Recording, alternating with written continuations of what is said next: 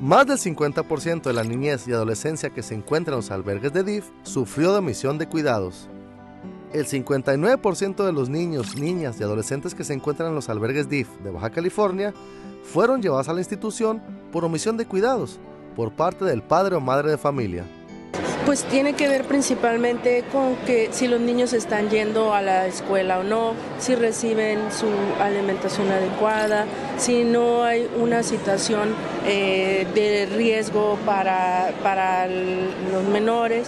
Es principalmente la omisión de cuidados el principal motivo por los que ingresan nuestros niños, niñas y adolescentes a nuestros albergues. Baja California es el segundo lugar a nivel nacional en cuanto a niños institucionalizados, al registrar 1.600 casos, los cuales están distribuidos en los cuatro albergues de DIF estatal y las 85 casas hogar que hay en el estado, siendo Tijuana el municipio con más niñez y adolescentes registrados. Tijuana, Tijuana definitivamente tenemos eh, mm, alrededor de, de 800 niños, 600 aproximadamente en Senada, el resto distribuidos entre los demás municipios pero es eh, Tijuana por la cantidad de población también que representa, en donde se concentra la mayor cantidad de niños que ingresan.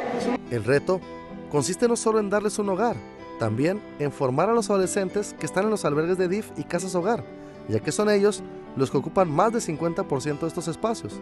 No obstante, suelen ser estos los rezagados, luego que las familias prefieren adoptar menores recién nacidos o hasta los 6 años de edad. Próximamente estaremos aperturando un espacio en Ensenada que es denominado Villa Albatros, que hasta el, hasta el nombre fue pensado y diseñado en esa visión de autonomía progresiva y vida independiente para los adolescentes en Baja California, acompañados precisamente de UNICEF y de otras organizaciones como Resilis que nos han ayudado a diseñar estos modelos.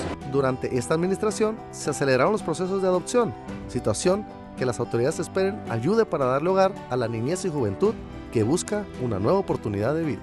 Durante esta administración se aceleraron los procesos de adopción, situación que las autoridades esperen ayude para darle hogar a la niñez y juventud que busca una nueva oportunidad de vida.